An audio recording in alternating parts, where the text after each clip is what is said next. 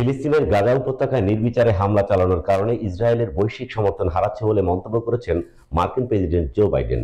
গণমাধ্যমের প্রতিবেদনে বলা হয়েছে, স্থানীয় সময় মঙ্গলবার তহবিল সংগ্রহের এক অনুষ্ঠানে দাতাদের উদ্দেশ্যে বক্তব্য দেওয়ার সময় বাইডেন বলেন, গাজায় নির্বিচারে বোমাবর্ষণের কারণে ইসরায়েল বৈশ্বিক সমর্থন হারাতে শুরু করেছে।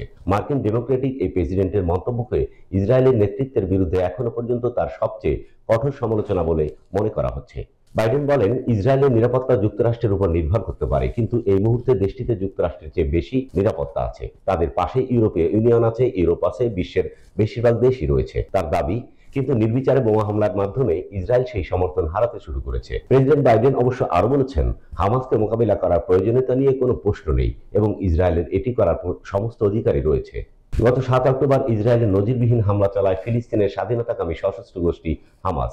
এরপর থেকে টানা দুই মাসের বেশি সময় ধরে গাজায় আগ্রাসন চালাচ্ছে ইসরায়েল। ইসরায়েলি এই আগ্রাসনের কারণে নারী ও শিশু সহ বেসামরিক মানুষের বিপুল সংখ্যক প্রাণহানির জোরে বিশ্বজুড়ে ক্ষোভ বাড়লেও প্রেসিডেন্ট বাইডেন ইসরায়েলকে অটল সমর্থন দিয়ে গেছেন। এক বিবৃতিতে ইসরায়েলের প্রধানমন্ত্রী বেনিয়ামিন নেতানিয়াহু বলেছেন, ইসরায়েলে গাজায় তার স্থল যুদ্ধ এবং হামাসকে ধ্বংস ও বন্দীদের উদ্ধারের লক্ষ্যে চলা অভিযানে যুক্তরাষ্ট্রের পূর্ণ সমর্থন পেয়েছে।